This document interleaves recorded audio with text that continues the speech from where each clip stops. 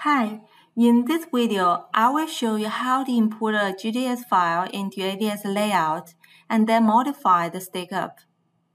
We'll start by using the two-layer substrate. Let's head over to the ADS layout environment. First, enable the visibility of the two conductive layers. Now, on the first conductive layer, let's draw two lines. Next, switch to M2 layer and draw a ground. Once down, save your layout.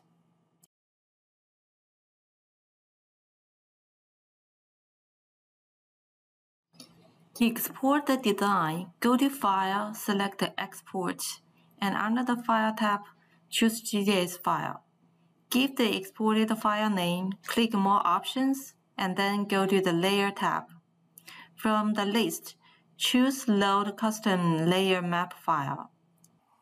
Add a row, select the layers where we draw patterns, assign the appropriate layer number and the data type, and repeat the process for the another layer. Once everything is set, click OK and OK.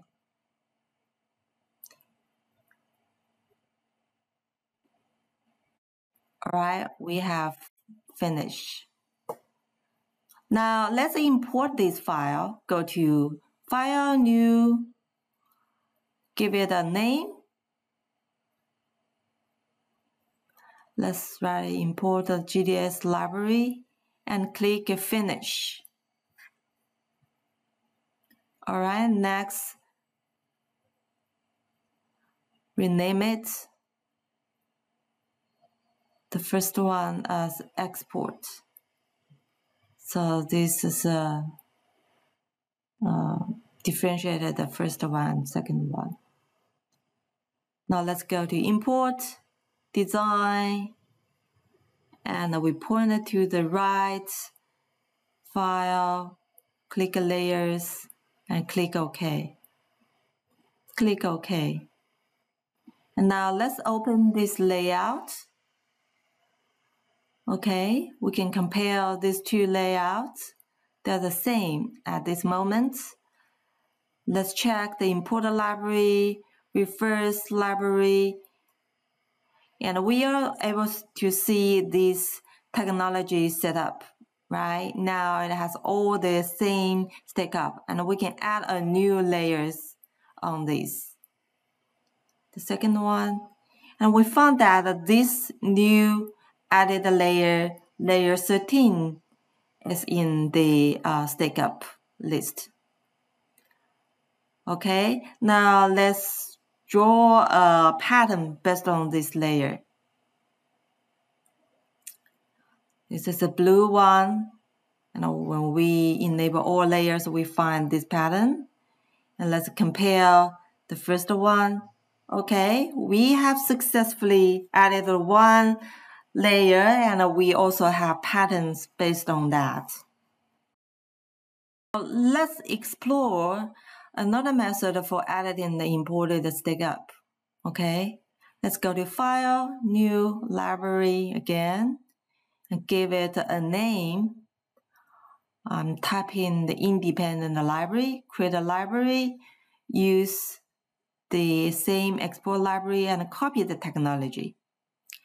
Let's check this new library. Now we see that there's an independent substrate under this library.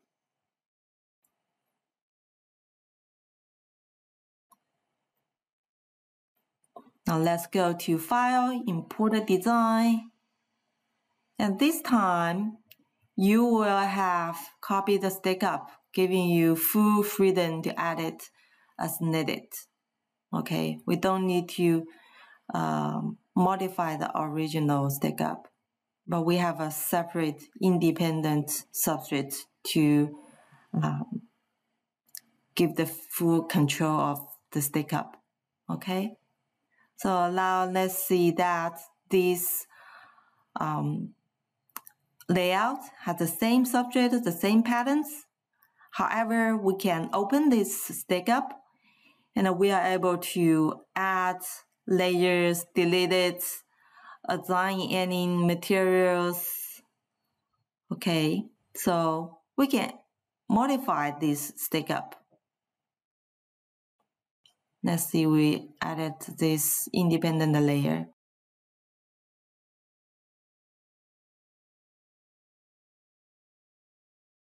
And save it. Then we find that this new layers has been added.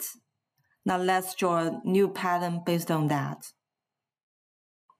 All right, and let's compare that. So this is the original subject. And for the second method, it actually has no subject at all it, because it refers to the first one. We've discussed the two methods for importing GDS files and the layer map files to set up the stack-up.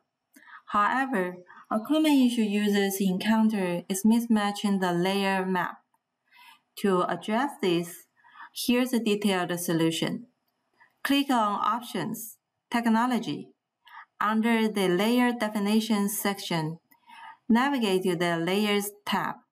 You will find a column displaying the number next to each layer name. And these numbers are crucial and ADS layout has default internal layers with specific assigned numbers.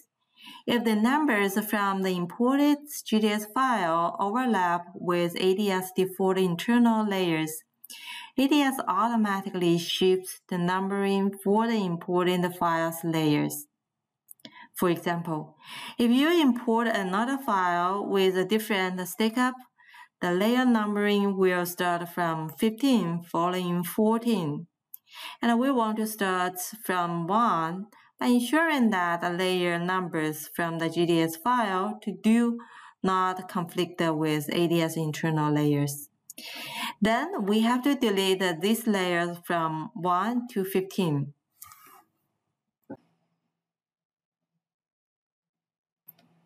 That's what we learned from this video. Thank you for watching.